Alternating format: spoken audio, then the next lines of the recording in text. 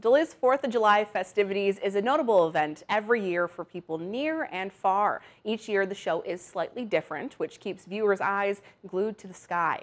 CBS 3's Abigail Smith goes behind the scenes to find out what creates the magic, making the fireworks show such a success. Returning to Duluth with a bang this year, the company Pyrotechnic is preparing for Sunday's big launch. Pyrotechnician Chris Plafkin describes what goes into the fireworks ready for takeoff. We actually uh, wire up each individual shell and we run it back to the firing module.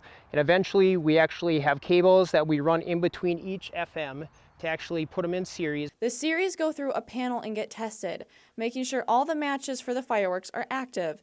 Then they're ready for the biggest launch the company does all year. The Duluth one I think is the biggest show in Minnesota. Um, it's, uh, it's a big show, very similar to um, previous years as far as the Duluth show size goes. Um, but yeah, it's uh, the biggest one that our company does here in Minnesota. So. The city of Duluth spent $50,000 on fireworks this year, scraping by the national fireworks shortage smaller companies are facing. Northlanders will get the best of the best, something Poyer is looking forward to. Everyone's uh, you know cheering and clapping and screaming and stuff, and that's always just makes you feel good that you, you get to put on something that everyone enjoyed, and um, and then yeah, it's probably about the the best part of it.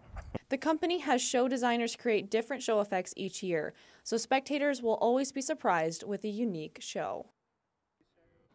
Duluth fireworks begin at 10 p.m. at Bayfront Festival Park with the Duluth Superior Symphony Orchestra performing. For more information on 4th Fest, you can head to our website for more information.